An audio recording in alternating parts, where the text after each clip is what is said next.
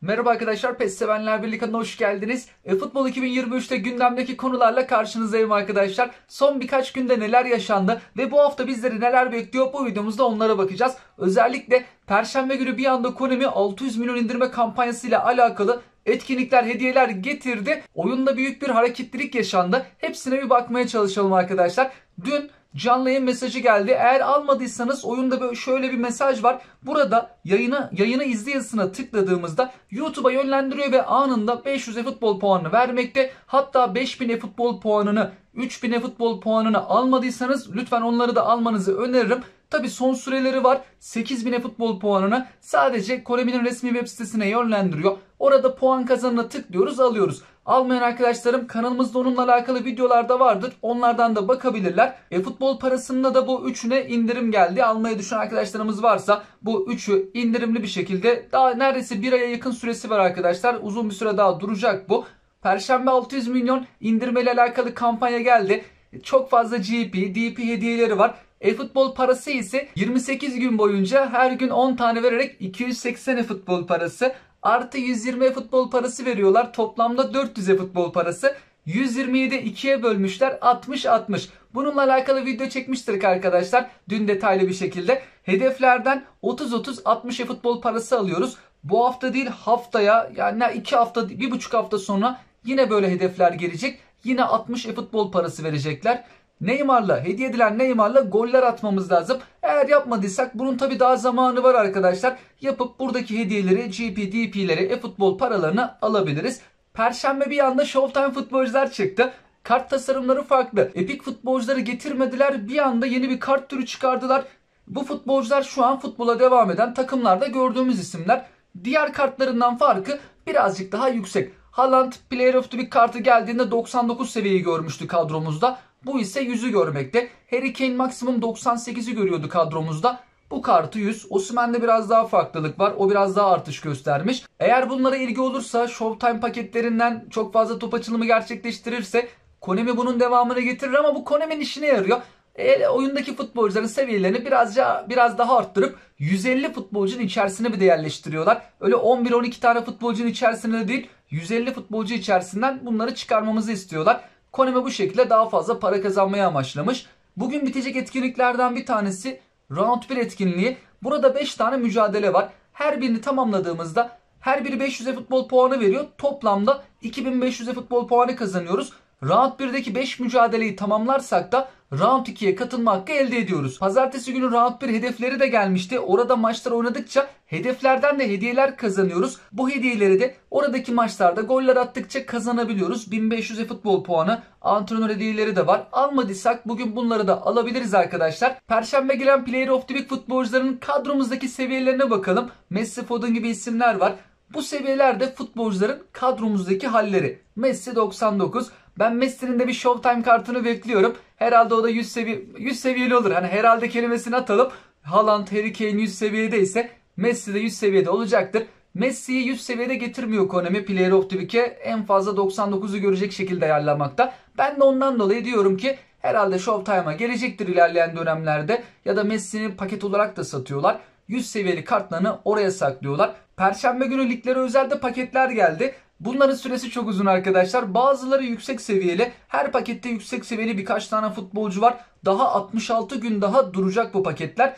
Oradakilerden İngiltere Ligi'ne baktığımızda kadromuzdaki seviyeleri bunlar. 99 Kevin De Bruyne, 98 Kulusevski, 96 sol açıkta Sancho, İleride Toney onun hakkını vermişler. Toney bu sezona iyi başladı. Bayağı da gol attı Premier Lig'de. 97 seviye. Stop savunmada da 93-94 gibi seviyeleri görmekteyiz. Pazartesi günü gelen Liverpool Manchester United paketinin de bugün son günü. Yarın yeni paket gelecek. Yarın gelecek takım Ajax takımı. Ajax takımının futbolcuları böyle çok yüksek seviyeli isimlerde olmayabilir. Birkaç tane iyi isim var içerisinde. Timber oyunun en hızlı stoper futbolcusu. Bundan önceki Player of the Week'te yer alıyordu kendisi. O kartını ben çok beğendim. Çok hızlı savunma arkasına biri kaçtığında yetişiyor. Eksik yanları var ama hızıyla da onu kapatıyor.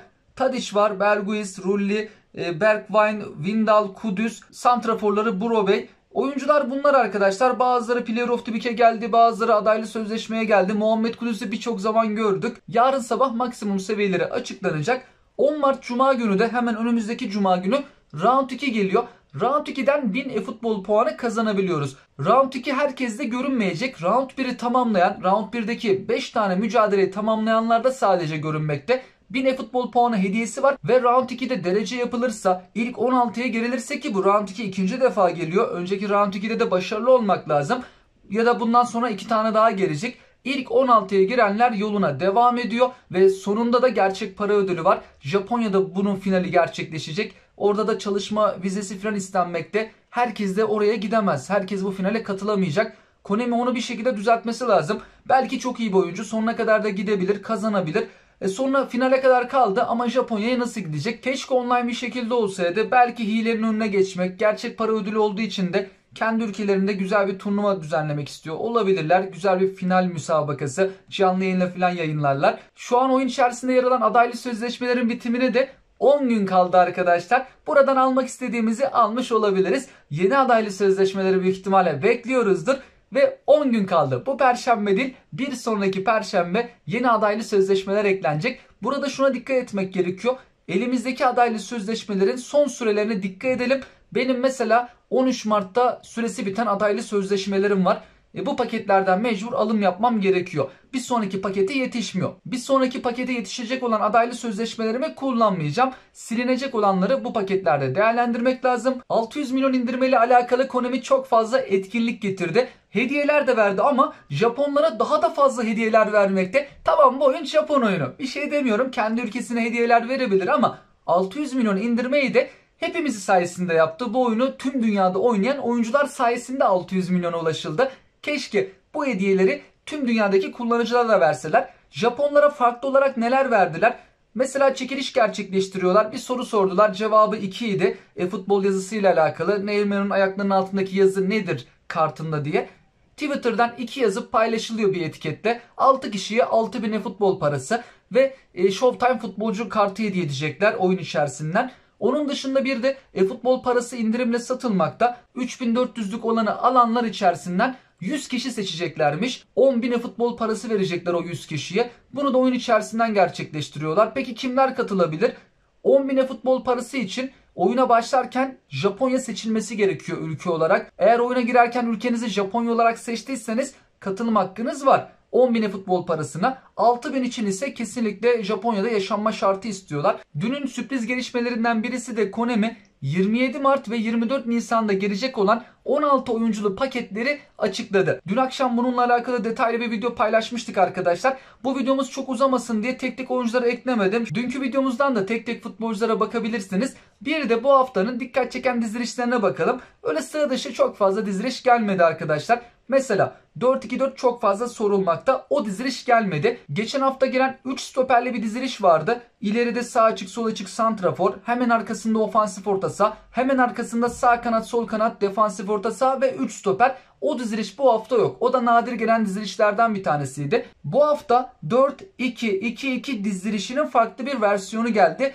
İki tane takımda var ve o iki takım da bizim ülkemizin takımları. Adana Demirspor ya da Antalya Spor'u seçerek bu dizilişi kullanabiliriz.